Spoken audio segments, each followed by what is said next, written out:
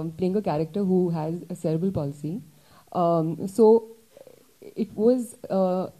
something that I realized that I was going to be very challenging because the only way I could emote everything I was feeling um, was and, and emote so much. I mean, my character really goes through like these ups and downs in the film. Was by just really being centered and being on that chair and kind of not moving. In fact, I used to come on set and just be there and only get up जब अगर मुझे you know lunch खाने जाना था वापस uh, मैं उसी chair को घुमाती रहती थी पूरे सेट में so I get used to it and I think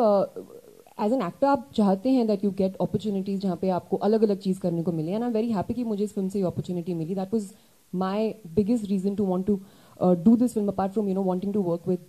Anand sir and and and Shahrukh again and Katrina but it was this because मेरे को लगता है कि ये इस फ़िल्म में मैंने कुछ uh, ऐसे करने की कोशिश करी है जो मेरे लिए मुश्किल तो था but at the same time इतना रिवॉर्डिंग था कि मैंने थोड़ा सा अपने आप को एक ऐसी जगह में कभी कभी पाया कि मैं इतना चैलेंज फील करी थी कि लाइक यार ये मैंने करा should you know the doubt that even she was talking about कि यार मैं कर पाऊँगी ये बिलीवेबल लगेगा and I would keep telling him also you know Shahrukh can I take another take I don't think it's okay and be like